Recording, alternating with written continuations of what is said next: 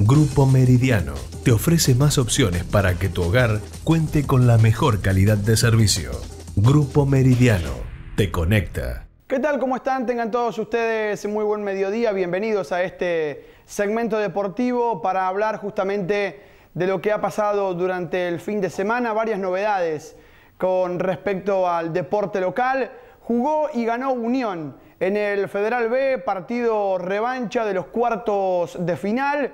El equipo de Adrián Toseto no dejó dudas, aplastó a aprendices casildenses por cuatro tantos contra cero. Una actuación convincente para el equipo de Avenida Belgrano. Los goles de Joaquín Molina en el primer tiempo y en el complemento de Maxi Sola y luego de penal también convirtieron eh, primero Matías Rojo y luego Nicolás Vitarelli Góngora. El global 6 a 2, el bicho verde en semifinales se mide ante 9 de julio de Rafaela en el clásico regional, un duelo esperado como en las buenas viejas épocas cuando se llenaban los estadios de la liga en los torneos Argentino B o Argentino A, ahora en instancias decisivas del Federal B Unión 9 de julio, el primer partido en el Germán Solterman, miércoles. Eh, todavía está por confirmarse el horario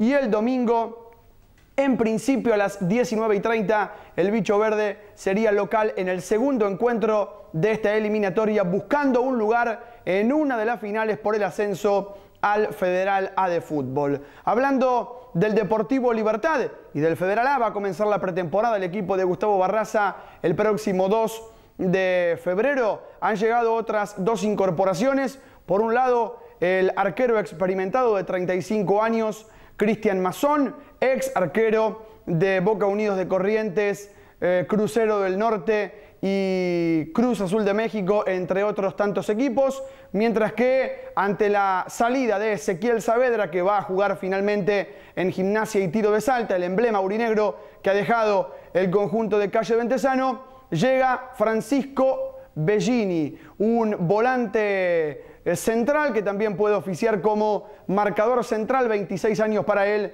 viene de jugar en el Santiago Morning de Chile, en la segunda categoría del fútbol trasandino. Incorporaciones número 3 y 4 para el Deportivo Libertad. Ya también durante la semana pasada se habían concretado los arribos de Walter Ferrero, volviendo al club, lateral por el sector derecho, y de Daniel González, también volante de recuperación en la mitad de la cancha. Hablando de básquetbol, eh, anoche jugó y perdió Unión antes Pormen Unidos, cayó el equipo de Martín Méndez 76 a 68, jornada 19 de la conferencia litoral del torneo federal de básquetbol.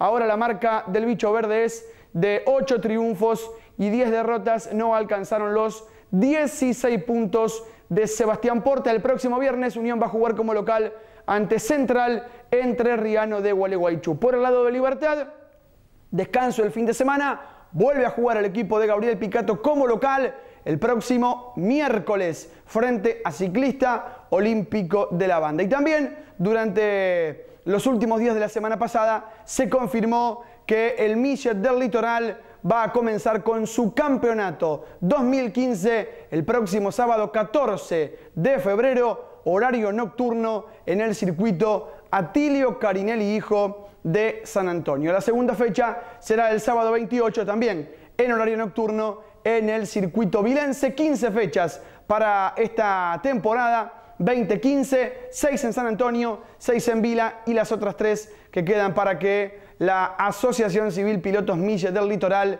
licite en su momento oportuno. La información, lo que tiene que ver con el deporte, lo que ha acontecido en las últimas horas en Sunchales y la región.